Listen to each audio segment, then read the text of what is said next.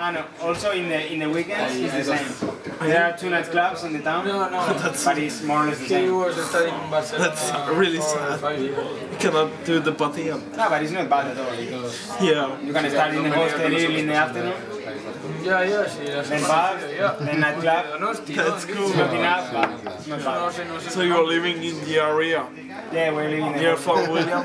Yeah, we live in the Yeah, they live in the Okay. Jesus, I could have told you that one. After five minutes, where are you from? Esto de la música Spain. no vais con puto piso. From the Swiss part of Spain? Why are not you drunk?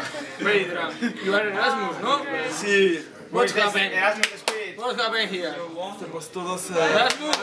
Yeah, I'm, I'm, all Erasmus students. I, I blushed after, All Erasmus students. after I re- revealed my comic secret. Uh, Should I pose for you or well, it's just a video? Oh, great. I don't know. let's raise Show the drunkenness of Mark. been in another Some people could be embarrassed by it. Zoom in his face. Show the beard. But I wouldn't be. Never. It's like my yeah, we're just childhood. How about your beard though? Show this one.